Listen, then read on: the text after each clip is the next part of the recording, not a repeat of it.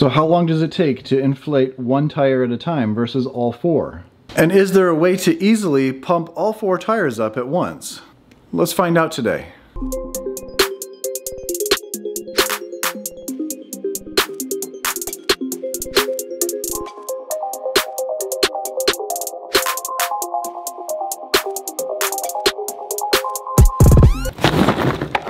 Got a box full of stuff to inflate my tires here. Uh, I'll have a link for everything down below. But we're gonna mess with this today. We're gonna make a four-in-one tire inflation system with a digital gauge and a deflation system in my Tesla Model Y. I have an ARB compressor in the front trunk. Let me show you that. Right up front here is my ARB compressor. Don't mind the speaker, I'm just playing with the noise, the sounds. But I've had this installed, uh, ARB sent this out to me a long time ago, and it's hooked up to a computer underneath my driver's seat and it can control the tire pressure as far as you set it to one pressure and it'll get there and stay there right here I have a, the chuck right inside the frunk there and then you can take this over to the tire and you can deflate it or inflate the tire.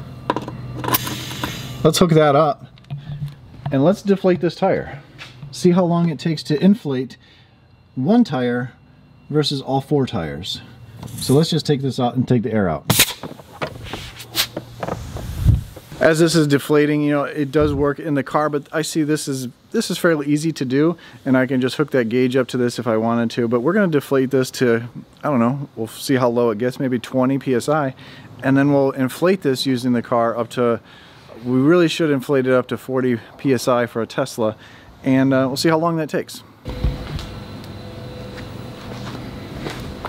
And in the car you can see on the screen here, it is 20 psi that front tire and the car thinks it's too low pull over safely. So that's what's really great about the ARB system and the LINX system that this is all connected to and I've gone over that before in a separate video. We're gonna see how long it takes to pump that tire up to 40 to 40 psi we're gonna change that I want to do 40 pounds. See how long it takes to do that and then we'll time after we're done with everything see how long it takes to do all four because then we can do the math and figure out did we save any time so a few benefits of this is when you're airing up your tires or airing down your tires, you get them all to the same tire pressure. And because it equalizes through all of it because they're all hooked together with one line basically.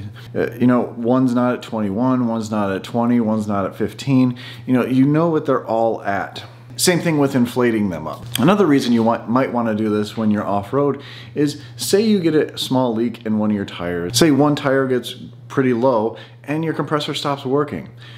You can actually hook up all these tires together, combine the two tires or three tires or whatever together to equalize the pressure without the use of the compressor if it's not working for some reason. Because on the trail, sometimes it's hard to get a jack underneath the car, and really, I'm not gonna be carrying a jack, so probably should have some way of doing that. Anyway, there's a few benefits to this. Not only is it a little bit faster, uh, it saves you from bending over to every tire and then walking back around to the car to get inside to turn it on. I'm gonna end up putting an on-off switch in the frunk so I don't have to work with that mechanism inside the car anymore. Because I have the digital gauge, I don't need to use that anymore. Now with this and just an on-off switch in the frunk, I should be able to do all four tires in about six, seven minutes. All right, so now that I have the target pressure at to 40, the tire pressure right now is reading at 20. We're gonna hit pressure control and it's gonna start up. So you'll see that it's starting right now, it's going up a little bit. Doesn't take long for it to start going. And of course it's loud.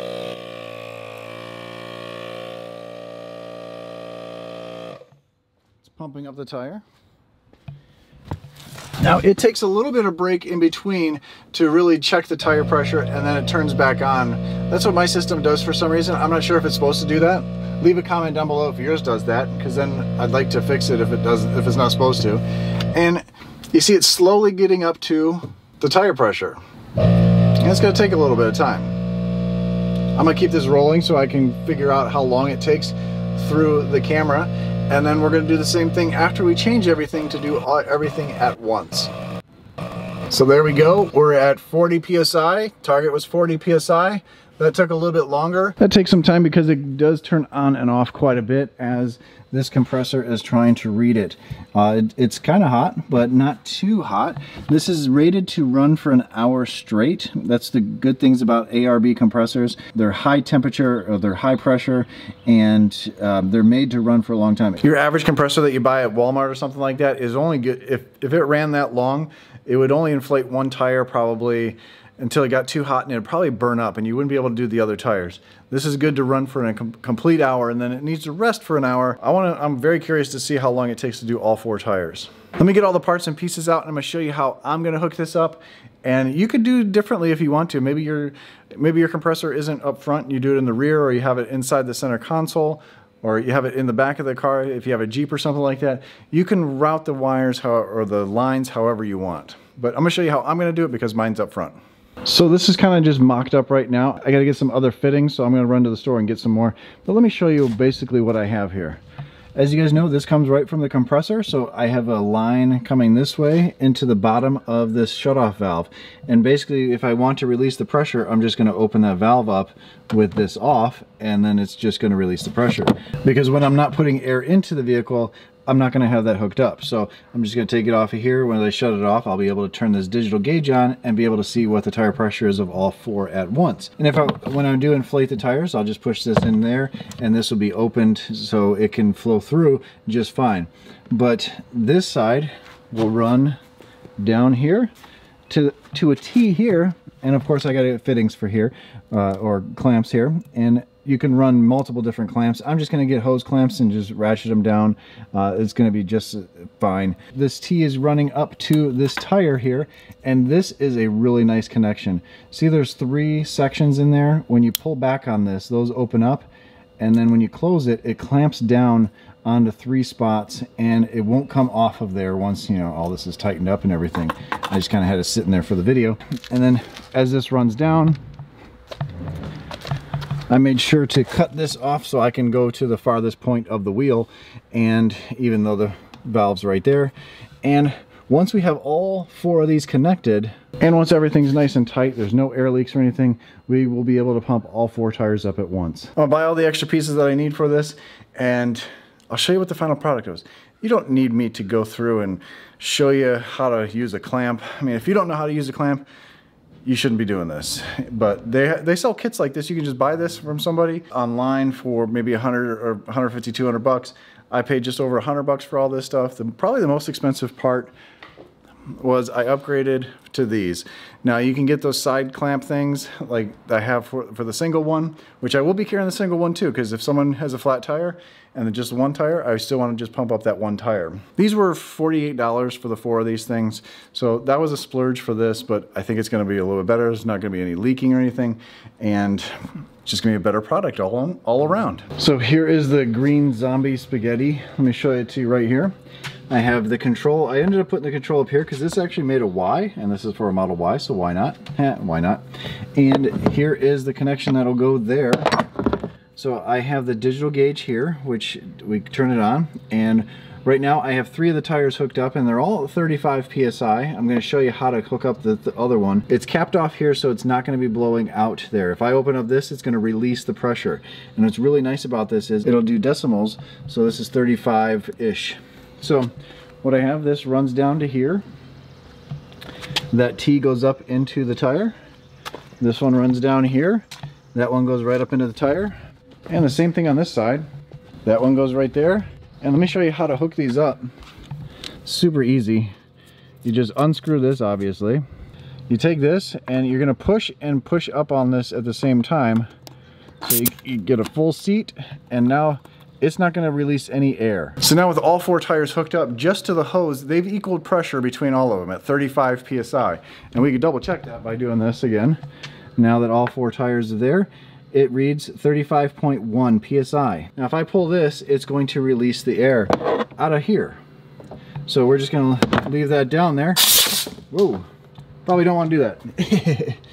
probably want to control this because it's going to come out quite, quite fast and if we let go, see if we drop this, it looks like it's dropping a lot. And it is.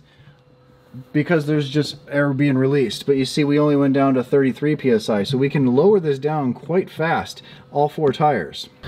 So on the trail, I'll be able to figure out how many seconds it takes to go down, and I can just count that pretty much. So I don't have to keep turning it on, turning it off, turning it on, turning it off. Hook it up to the compressor there, and now, now there's a leak. Oh, there's a leak in the fitting. Uh, now when we turn the compressor on, this will pump up all four tires at the exact same time because this is feeding into here, branching out, and then going everywhere else.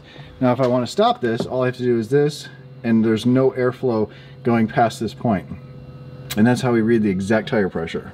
I'm gonna deflate the tires to 20 PSI, all four tires, and then we're gonna run the compressor and we're gonna see how long it takes. All right, that's as close as I'm getting. All the tires are down to 20%. You can see why we wanna lower the tire pressure uh, off-road because this tire flattens out a little bit and then gets longer so you get a lot more traction with the tires this low. But you can't do this with every tire. These off-road tires are designed to be going slow with low tire pressure. Now I'm gonna go even lower when I go into sand. We're gonna go to like 17 PSI. And I probably won't do 20 PSI off-road uh, because this car is very heavy. I'll probably, just because it's gonna, we're not gonna be going off-road. We're gonna be doing like soft road kind of stuff. So I'm probably gonna put them to right around 25 PSI. Let's plug it all in, go in the car, and see how long it takes. And the car reads it at 19 psi because we were right there. Maybe it's maybe uh, the car's rounding down. Now I'm gonna leave this running, but it's gonna take a while because it's doing all four tires at once. So uh, we're up to 21% already, or 21 psi already, but it's gonna do all four. So it's just one connection and we go. And now what I'm going to do, this red, the red 40 inside, this is 39.5. I capped this off. I'm going to disconnect here. And we're going to see if this will hold at 39.5. Make sure there's no air leaks. So it's been an hour. And let's check to see if we lost any pressure. 39.4. It was 39.5. So barely lost. No, actually, it was still the same. 39.5. It just went up. 39.6. Uh-oh. How are we gaining pressure? Anyway, we didn't lose anything.